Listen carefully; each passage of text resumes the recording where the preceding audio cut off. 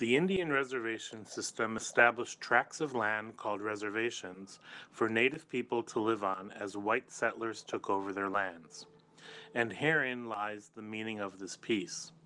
One could liken a reservation to be a prison camp, a place of containment, where a specific group of people are all kept in one space and under the control of another people. They do not own the land. They are kept there under the control of the government that created these places and allows them to be there.